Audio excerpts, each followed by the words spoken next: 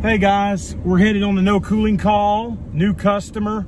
I was referred to her by a existing customer. She uh, she had to go pick up her granddaughter, I think she said. So she left her garage open and her garage door open for me to get to the thermostat and so I can get to the attic and everything. Uh, so we should be able to get some film on this one for y'all. And hopefully it's something interesting. But if not, we'll film it anyway. Okay. I hear the fan running. Put the fan on auto. Oh, I have uh, my name with these. I'm going to put one.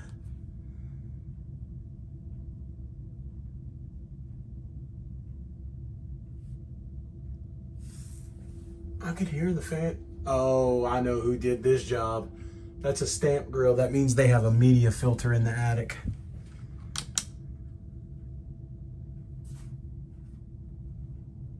Well, I'm gonna wait for the fan to cut off. The fan just cut off. So we're gonna go to system, heat, cool, 68.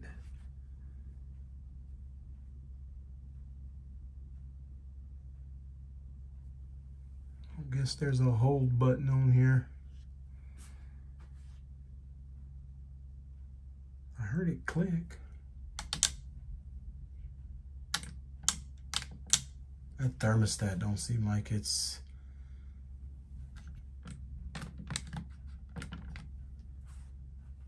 it might be in time delay. The snowflake is flashing. So I think that means time delay. We'll see. Yeah, I know exactly who did this job. The old hanging air handler. See how they do that? They just, they put a piece of sheet metal, screw it to the unit, hang it. And then there's a media filter built into the return air plenum. And there's a fret, look at that little dryer vent fresh air duct. The unit still has not come on. So I don't know if the thermostat's acting up or if we have a delay. Filter looks clean. The coil is clean. I mean, it's got a little bit of specks on it, but nothing that's gonna hurt nothing. And most of the time, the return duct is undersized on these systems. So let's take a look and see if that's the case on this one.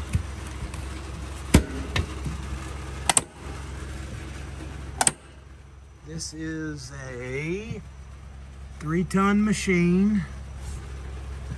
And I bet you it's got a 14 inch duct on it.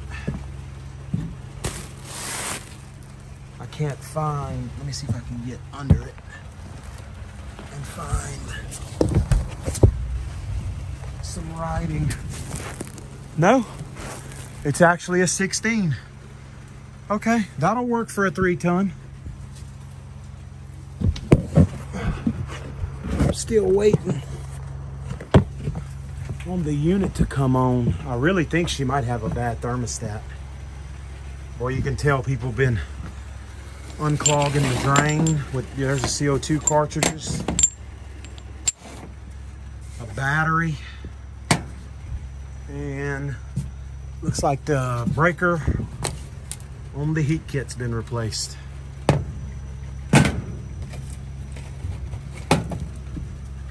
All right, I don't have any tools with me. I just came up here, but that thing still hasn't came on. I'm gonna go check the thermostat again. All right. The snowflake is still blinking.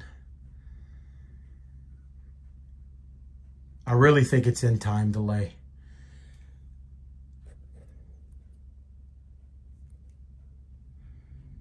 It's 340. I'll give it another five minutes. And if it hadn't came on yet, I'm going to take the thermostat off and jump it. And it's pouring down rain, so I really hope that's all it is.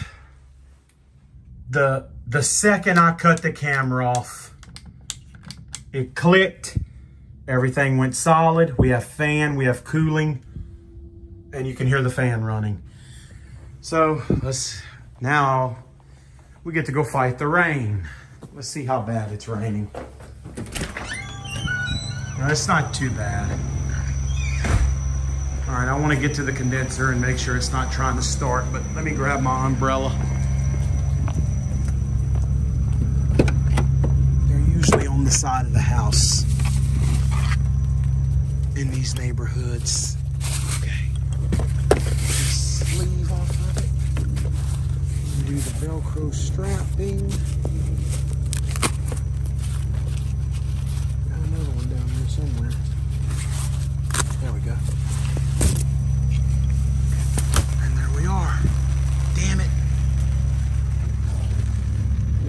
Two. Two of them came loose.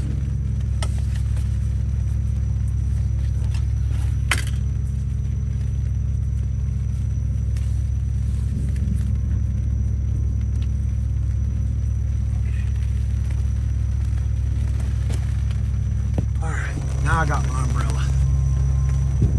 Uh, could be either side. Stanley steamer next door. No, here she is. Is she running? She's running. I don't hear no compressor though. It goes in here.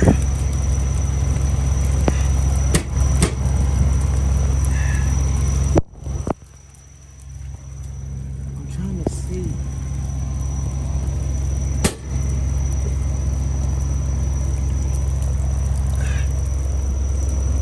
All right, hold on, guys.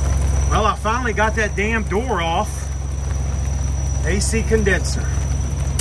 Yep. All right. I don't think I heard a compressor, but uh, let me. I guess it's not raining too bad. I might as well go ahead and knock this out. Let me grab my tool bag. All right, we're definitely gonna have to knock this out now because I just looked at the radar and the weather's just gonna get worse the later it gets.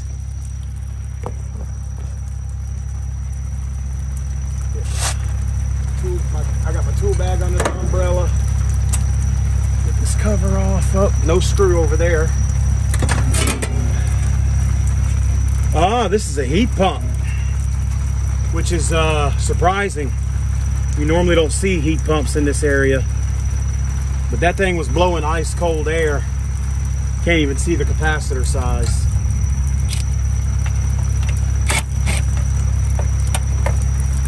It's a 40 plus 5. Alright. Pull the fan off. Pull the herm off. And we'll test it.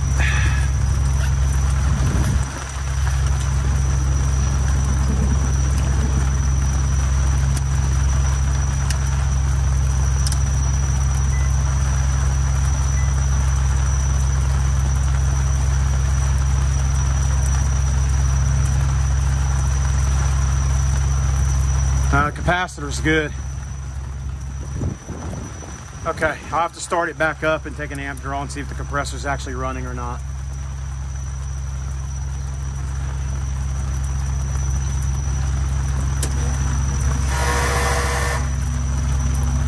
Oh. Might help if I put the wires back on the capacitor.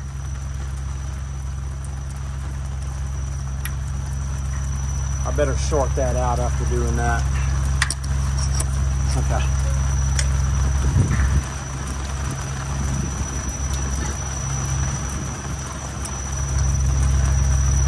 Sometimes you get in too much of a hurry. Try that again. I don't hear no compressor.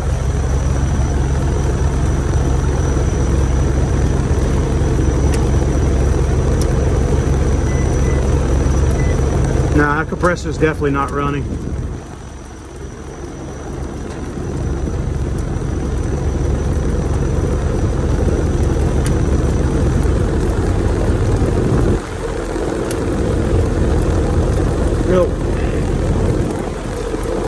Absolutely no amp draw on the compressor whatsoever.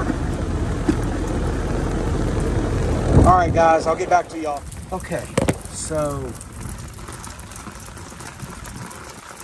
the plug is intact on the compressor.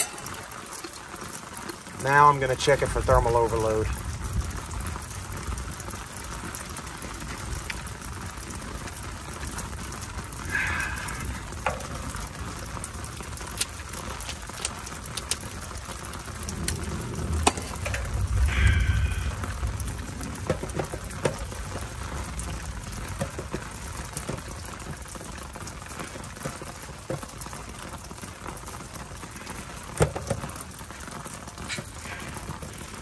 Too thick to get the 5 16 nut driver on the contactor on the 8 and 1, so I'll have to use the Phillip.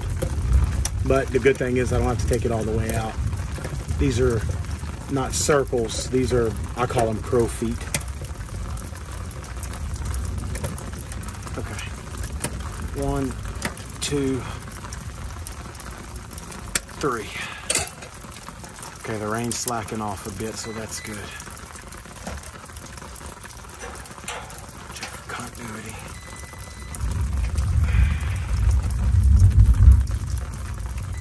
Got it there.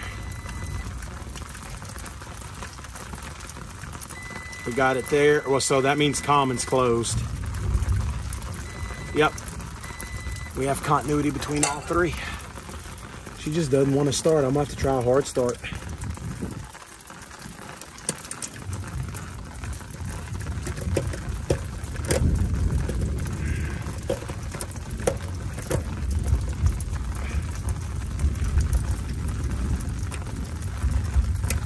make sure this unit's got refrigerant in it too. But it looks like we're gonna have to try a start kit.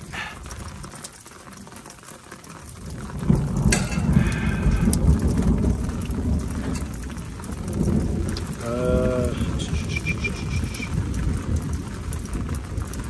everything is intact. I'm gonna try it again and see if it, see if I can get an inrush on it.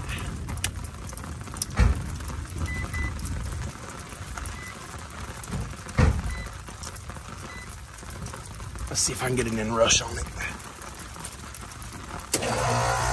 I'll be damned, it started right up.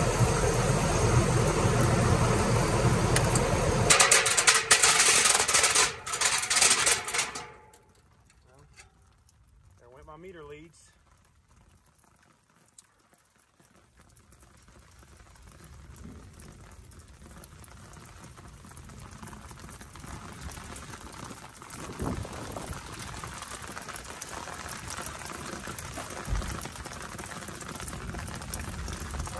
That's okay. I got another set in the truck. Now, why did that compressor start all of a sudden?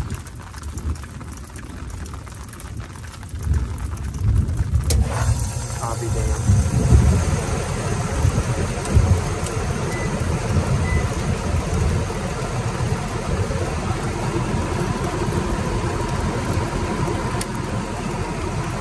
Yep, we got amps.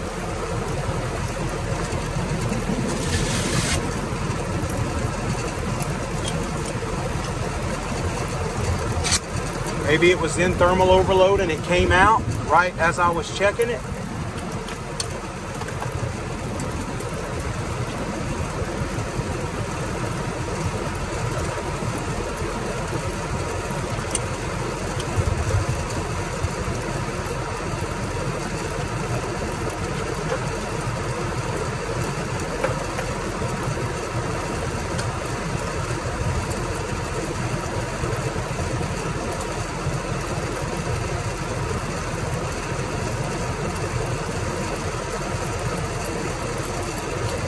Okay, well, it's low on gas. That's not a shocker with Lennox. So my guess would be that it was in thermal overload and it came out of overload right when I started testing it. And I lost my damn meter leads to that damn outdoor fan motor.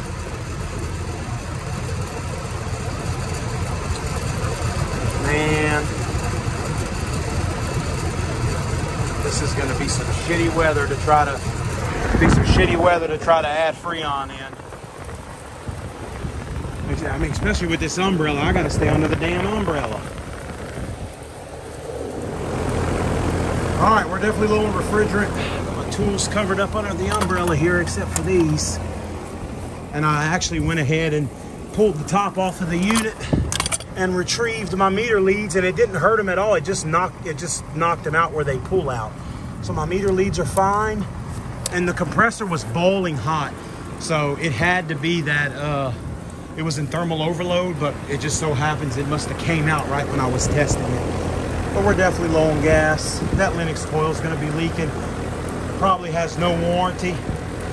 So, you know, we're just, we're gonna gas it up for right now.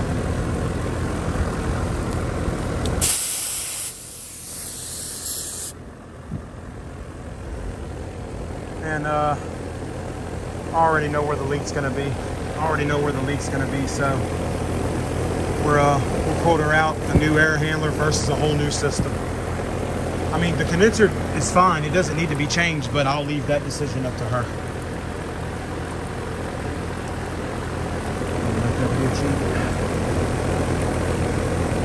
I don't have my scale, but I weighed it in the back of the truck before I came out here. Can see my jug weighed 18 pounds, well, 18.12. So I'll just reweigh it when I get back to the truck and I'll know how much I used. Okay guys, I'm headed back into the attic to record the model and serial number because this is the low end Lennox uh, air handler. And I've been told that these low end Lennox air handlers have ADP coils in them. The Allied store here, which is Armstrong Air, this is the same air handler as an Armstrong. And they have ADP coils and they can cross the numbers and uh, get you the right ADP coil that, that is made for this cabinet. So I'm gonna record this model and serial number, which I'll have to un, you know, turn the camera off to do so because I'm on my phone. And I'm gonna see if we can find a uh, replacement coil, get a price on it. I'm also going to quote her a new air handler, but it will not be hanging like this. We will, we will build a deck right here. We'll take a piece of plywood, a piece of half inch or probably three quarter inch plywood and put it on some little two by four legs to get it above that uh that two by six right there and set it down we, uh we will replace the plenums reason being uh every time we do one of these jobs from this company the plenums are always rusted out on the inside and you can never get them off and they it leaves and it leaves you nothing to screw to so two new plenums, a deck, and a new pan, and uh, then a quote on just the coil, and then a quote on an entire new system. And I'll let the customer make the decision. So I used to sell the Pro Stats. This is a top tech from Carrier, but it's the same thing. And when you sell the stats, they give you these for free. So I'm gonna pull that one off. It's a magnet. And install that one. Now she knows how to get in touch with me. And I put a sticker on the unit.